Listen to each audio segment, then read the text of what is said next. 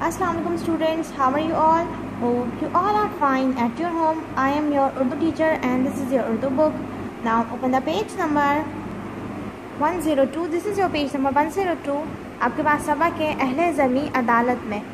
ठीक है, यहाँ पर आपको ये ड्रामा दिया गया है। किरदार है इसके, खलाई मखलूक। खलाई मखलूक क्या होती है? ज़मीन दुनिया से बाहर, यानी खुला से आई हुई मखलूक को खलाई मखलूक कहते हैं। अहले जमी का नुमाइंदा, वकास, जज चौबेदार चौबेदार यानी कि चपरासी, वकील सफ़ाई, हुकूमत की तरफ़ से वकील वकील इस्तहासिया मुकदमा दायर करने वाले यानी खुलाई मखलूक का वकील। यहाँ पर आपको एक ड्रामा दिया गया है जिसमें जिसमें किरदार बताए गए हैं कि खुलाई मखलूक है, ठीक है? अहल ज़मी का नुमाइंदा वकास, जज हैं और चपरासी हैं। दो वकील हैं यहाँ पर, एक उसका जिसने मुकदमा दायर किया है और एक है सरकारी वकील। अब हम देखते हैं ड्रामे में क्या है। खुलाई मखलूक का एक फ़र्द, जो कि तकरीबन एक हज़ार साल पहले भी ज़मीन का दौरा कर चुका था, आजकल दोबारा ज़मीन पर आया हुआ है। वो यहाँ के हालात और माहौल देखकर सख्त परेशान है।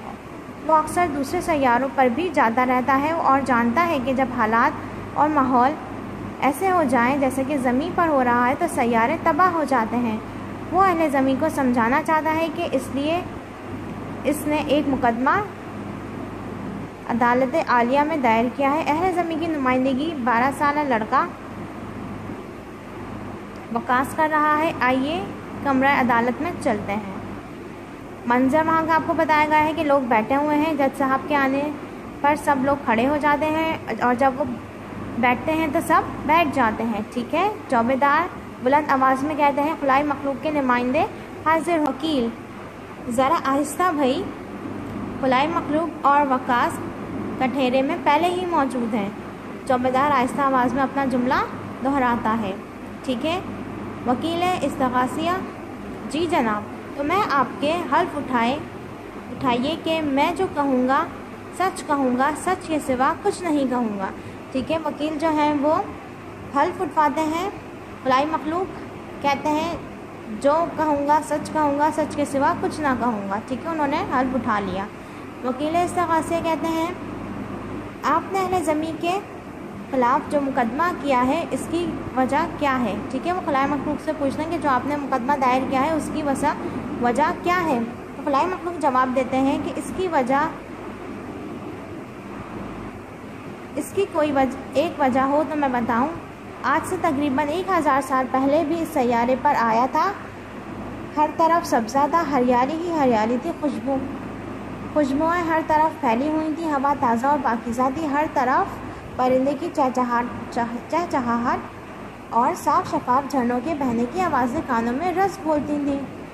मेरा दिल यहाँ से वापस जाने को नहीं जा रहा था लेकिन मेरा वक्त ख़त्म हो गया था, इसलिए मैं वापस चला गया। वकील सफ़ाई, मुदाखलत करते हुए, अगर आप मुख्तसर बताएँ तो ज़्यादा बेहतर होगा। वकील इस्तगासे कहते हैं, मोहतरम जज साहब, वकील सफ़ाई मेरे मौकिल को परेशान कर रहे हैं। जज, एतराज़ से कबूल किया जाता है। फलाई मखलूक कहते हैं, जी तो मैं ये कह रहा था कि अब जब से मैं यहाँ आया हूँ मुझे एक दिन भी सांस लेने के लिए ताज़ा हवा नहीं मिली। इतना शोर है कि मैं सोच रहा हूँ कि अपने कान मुस्तकिल बंद ही रखूँ। सब्ज़ा और हरियाली कहीं कहीं किसी पार्क में ही नज़र आती है। बहते झरनों के बजाय जगह जगह गंदे और गलीस पानी के नाले बहते नज़र आ रहे हैं। वकील इस्तगासियत क्या आपके ख़्याल में इन सब तब्दीलियों के ज़िम्मेदार ज़मीन के लोग हैं, जो आपने इन पर मुकदमा दायर किया है? फलाई मखलूक। जी हाँ मेरा यही ख्याल है कि इसलिए मैंने ये मुकदमा दायर किया है। चौबेदार, अहल ज़मी के नुमाइंदे हाजिर हों। वकास जो हैं वो खड़े हैं, ठीक है? वकील सफ़ाई। जी जनाब हल्फ उठाइए कि मैं जो कहूँगा, सच कहूँगा, सच के सिवा कुछ ना कहूँगा। वकास भी फिर हल्फ उठा लेते हैं। वकील सफ़ाई। आज फलाई मखलूक के इस दावे के जवाब में आप क्या कहना चाहेंगे? वकास कहते हैं, मैं इन इल्ज़ाम का ज़िम्मेदार अहल ज़मी को समझता हूँ, लेकिन ये हमारी मजबूरी है। हमें फर्नीचर के लिए लकड़ी चाहिए, ईंधन के लिए लकड़ी चाहिए, और भी बहुत से कामों के लिए हमें लकड़ी दरकार है। इसके लिए दरख्त काटने ज़रूरी हैं। अपने घर और कारखानों का इस्तेमाल शुदा पानी, हमें कहीं तो बहाना है। तो वो हम नहरों और दरियाओं और समंदर में बहाते हैं। इस तरह गाड़ियाँ और दूसरे आलात का इस्तेमाल शोर को खुद ब खुद पैदा करता है। तो ये तो हमारी मजबूरी है। आप इन बातों के लिए हमें मुकदमों में नहीं घसीट सकते। वकील सफ़ाई कहते हैं खुलाई मखलूक, इसके जवाब में कुछ कहेंगे? खुलाई मखलूक, जहाँ तक मेरा ख्याल है, ये मजबूरी नहीं, लापरवाही है। आप फर्नीचर, लकड़ी के अलावा बहुत सी चीज़ों का भी बना सकते हैं। ईंधन के लिए बहुत सी दूसरी चीज़ें हैं, इस तरह इस्तेमाल शुदा पानी साफ़ सुथरी नहरों और दरियाओं और समंदर में फेंकने के बजाय खेती बाड़ी में इस्तेमाल हो सकता है। गाड़ियों के हॉर्न ना बजाए जाएँ और कारखानों के शोर को कम करने के इंतज़ाम किए जाएँ तो शोर भी कम किया जा सकता है। ठीक है? वकास कहते हैं, लेकिन इन सब इंतज़ाम में देर लगती है। हमें तो अपना काम भी चलाना है। ये सारे इंतज़ाम करने की वजह से काम रुक सकते हैं। फलाई मखलूक कहती हैं, लेकिन क्या आप जानते हैं कि अभी काम चलाने और मुस्तबिल के बारे में ना सोचने वालों का मुस्तबिल हमेशा तबाह हो जाता है? वकील सफ़ाई कहते हैं, जनाब, हमारा बयान यही था। अदालत का फैसला कल सुनाया जाएगा। जज साहब फ़ाइल पर दस्तखत करके पेशकार को दे देते हैं। ठीक है? यानी कि यहाँ पर जो मुकदमा दायर किया है खलाई मखलूक ने, वो आलूदगी पर जो है वो दायर किया है। कौन कौन सी आलूदगी होती हैं? फ़िज़ाई आलूदगी, ठीक है? पानी की आलूदगी भी होती है। ज़मीनी आलूदगी, ठीक है? तो अब हमारी आलूदगी की वजह से, यानी कि हमारी ज़मीन पर जो आलूदियाँ फैली हुई हैं, उनकी वजह से हमारी ज़मीन तो तबाह हो ही रही है, लेकिन ज़मीन की वजह से बाकी सयारों को भी तकलीफ़ पहुँच रही है, जिसके बारे में उन्होंने मुकदमा दायर किया है। हमें चाहिए कि हम आलूदी को जिस तरीके से भी कम किया जा सके, हम उसे कम करने में भरपूर जो है वो ताउन करें। ठीक है? इस अदालत का फैसला तो नहीं आया।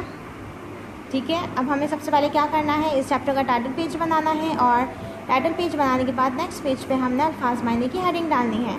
Now come to the next page यहाँ पर आपको अल्फाज मायने दिए गए हैं। मखलूक, लोग तबाह यानी बर्बाद, चौबेदार अदालत का कारिंदा, एतराज़, किसी बात को मानने से इनकार, मुकदमा, वो फैस, वो मसला जो फैसले के लिए अदालत में पेश किया गया, हल्फ, कसम या अहद अहद।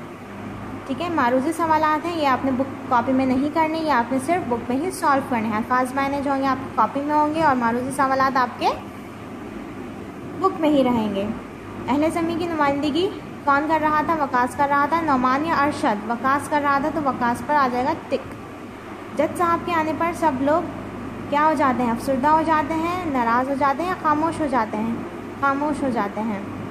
लाए मखलूक के नुमाइंदे को किसने बुलाया? जज ने, चौकीदार ने, चौबेदार ने या वकील इस्तहासिया ने? चौबेदार ने। वकील सफ़ाई मेरे मौकिल को परेशान कर रहे हैं। ये जुमला किसका था? जज का था चौबेदार का था या वकील इस्तहासिया का था?